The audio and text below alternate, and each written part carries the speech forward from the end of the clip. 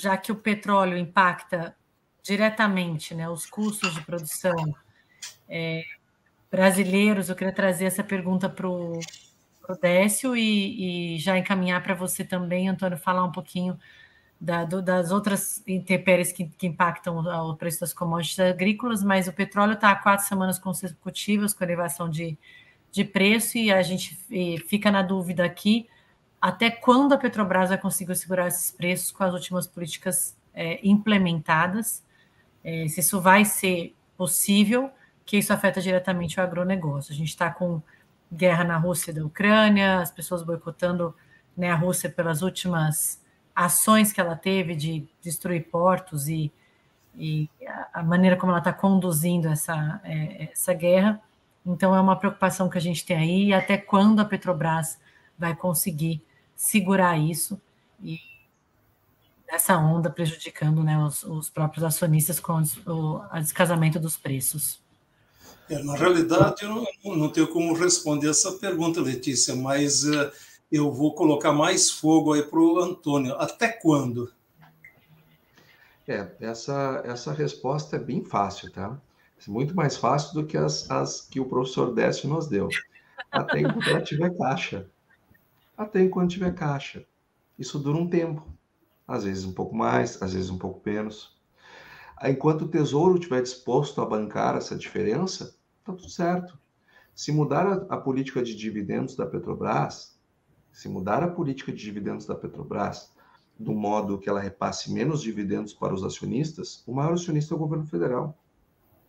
Então, o que acontece? O governo federal precisa daquele dinheiro para fechar as suas contas. Se o governo federal não tem aquele dinheiro para fazer essa política de preços da Petrobras, porque veja, eu não preciso intervir diretamente. Basta eu fazer uma política de preços que não acompanhe as flutuações. Aí eu não distribuo os dividendos. O, o principal acionista é o governo federal. Falta dinheiro no caixa do governo federal. O que, que o governo federal faz? Aumenta os impostos. É simples. Ou seja, não tem mais margem para aumentar impostos. Tem, Décio. Tem. Pior é que tem. Nós não temos mais paciência para aumentar impostos. E aqui eu vou dizer um negócio também sobre reforma tributária. Uh, eu, eu, na semana passada, o IPEA largou um estudo que eu achei muito interessante, um estudo bem fundamentado.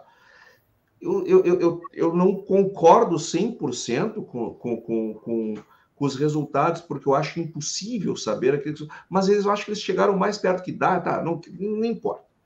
Fechado esse parênteses, eles chegaram na seguinte conclusão: que hoje, para equilibrar as finanças públicas municipais, estaduais e federal, nós precisaríamos uma alíquota de CBS e IBS que somadas daria 28%. E foi um escândalo. Foi um escândalo. As pessoas ficaram indignadas Várias falaram comigo. É um absurdo. Onde é que já se viu? Vai pagar 28%. Nós não vamos aguentar isso daí. E eu perguntei: não vão? Não, não vão. Tem certeza? Tem. Tu está pagando entre 17% e 19% de alíquota de CMS, dependendo do estado, de alíquota modal, de 17% a 19%. Tu paga é, 9,25% de piscofins. Vamos pegar os 19 só para fazer as contas, já está em 28 e 25. Eu ainda não botei o ISS e eu não botei o IPI. Ou seja, você já está pagando isso. Você já está pagando isso. Só que tem uma diferença. Num sistema de, de como nós temos hoje, o imposto é calculado por dentro. Então, digamos que eu quero comprar esse objeto. Esse objeto, eu chego na loja eu, e o vendedor me diz: não, isso aí custa 150 reais. Compro ou não compro. Acho, acho barato, acho caro, eu compro. Ou não compro. Uh, num sistema de IVA, eu vou conseguir saber quanto que isso aqui é o valor de fato do equipamento e quanto é imposto. E aí eu começo a criar uma geração de pessoas que têm cidadania fiscal. Ou seja, pessoas que sabem o quanto elas estão pagando de impostos. E ao saber o quanto estão pagando de impostos, sabem o quanto está custando a elas pagar esses impostos. E elas começam a exigir um, é, é, serviços públicos de maior qualidade e gastos públicos é, mais organizados. Porque, do contrário, quando a gente diz, ah, isso aqui custa 150 reais, muitas pessoas acham que quem está pagando o imposto é a empresa. Não é a empresa, quem está pagando é quem está comprando. A diferença é que é por dentro. Quando eu calculo por fora, o imposto fica ali bem claro. Então, por isso, Letícia, que uma política de, de, de, de preços é, de combustíveis da Petrobras é, que não acompanhe as flutuações de mercado do petróleo, ela, ela, ela, ela tende a estourar em algum lugar. O primeiro lugar que deve estourar vai ser nos dividendos dos acionistas. Por isso que a, a Petrobras já está é, se agilizando para fazer uma mudança na política de, de, é, de preços da, aliás, a política de dividendos, aonde o maior interessado é o próprio governo federal. Se o governo federal não receber esses dividendos, ele vai ter que buscar para fechar as contas em outro lugar, que pode ser no aumento do endividamento, que não estoura nesse governo, mas estoura lá na frente, ou pode ser no aumento da carga tributária. Vou dar outro exemplo para vocês para ver como está toda hora vindo imposto e a gente está aceitando. O, o, ministro da Fazenda ele propôs uh, o, o, a tributação sobre as BECs, sobre as, as empresas que fazem apostas. Eu, Antônio, sou 100% favorável. Toda atividade econômica tem que contribuir com, com impostos.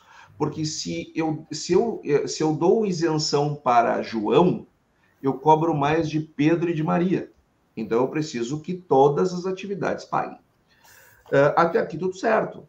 O problema é que o governo quer criar a tributação sobre as bets fez uma MP trazendo para 18%, e eu pergunto por que, que não, tá, por que, que não vai diminuir o imposto em outro lugar?